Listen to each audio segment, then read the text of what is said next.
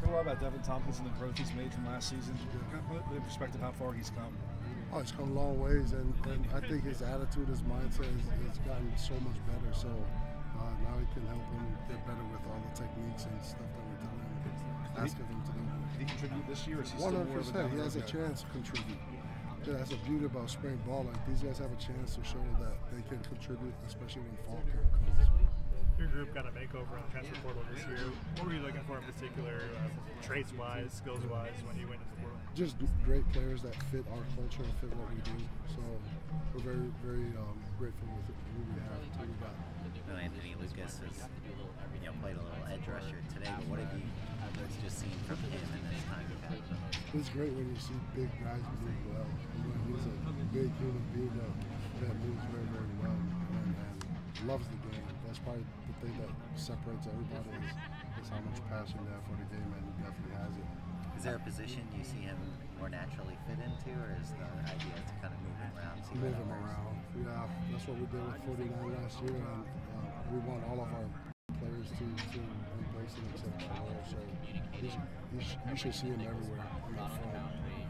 Caleb was raving about a play he made a couple weeks ago. Um, has he exceeded your expectations or surprised you in any way? Well, I, I try not to look too far ahead. I just have my own process of developing uh, their mindset, their skill set, in terms of just taking it one day at a time and try not to look too far ahead because uh, this is a day by day thing and we got a lot of work to do.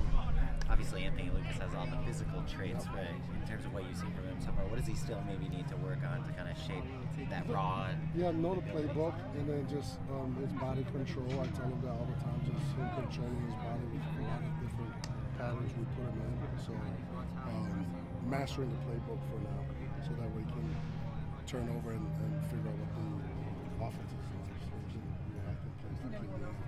When, when, when he's talked about seeing more depth, more talent in front seven, how would you compare what you have right now to where you left off last year? It's really hard because then if I say this group is really good, then it's kind of like we're dogging the last year's group. I thought last year's group did a great job for us maximizing their potential. The one thing that was missing last year was the pure, the just numbers. You know, we were not deep at all in numbers at all. Talent-wise, that's hard to tell. This group still got to prove themselves, but. Um, Last year's group did a great job of setting the standard foundation expectations for us. You know, unfortunately, we didn't close it out good, but um, it, it's a good start. So um, we'll see how this group uh, pays out. What sort of impact has Jack Sullivan had so far in camp? Oh man, versatile. He's very, very versatile, and he's going to be one of those guys.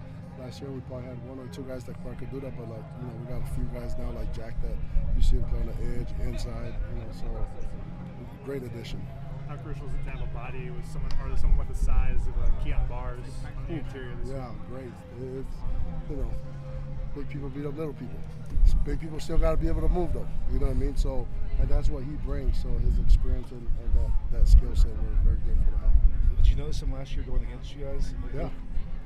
Yeah, he did a great job striking blocks, and you know, so yeah, we did notice him. Coach, back to Jack for a second. He's usually the first scholarship guy out here every every practice. Does that sum him up? that sums him up. Very mature, very professional. He knows exactly the expectation. He's he's ready to embrace it. Thank you. Yeah, thank you. You inherited Corey Foreman from that Russian position. What is it like getting him back? You know, hand and litter kind of guy. Another talented uh, body, another talented player, young man for us. So excited to see what he can do. What does he have to do to, to earn more of a role this year? Just consistency, consistency of uh, you know just um, showing up every day. You know, it can't be up this day, down tomorrow.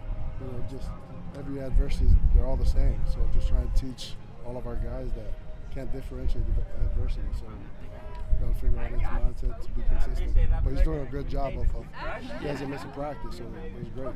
How much has it helped him just being you know healthy and being available? Oh, it's great. That's exactly what you just said. It's available. Just availability. And cre- to his credit, he's, he's done a good job of just fighting through some pain and stuff. So it's been good. We talked to Al, Alex at the start of the game about all the self-analysis you guys did about the defense. What do you Mhm. recall coming off those last two games, how frustrating it was, and how you kind of processed all that? Like I said, like, I always look up front. We are the tip of the spear, the tip of the defense. So we we take that person. I take that person. That's my responsibility up front, and all the failures our guys are. It's such for me. So the lack of execution and, and just dominating the front from beginning to to, to, to end. Um, that's something that I take personal. So it, it's us up front. Thank you, Coach. Thank you. Thank you guys very much. Appreciate it.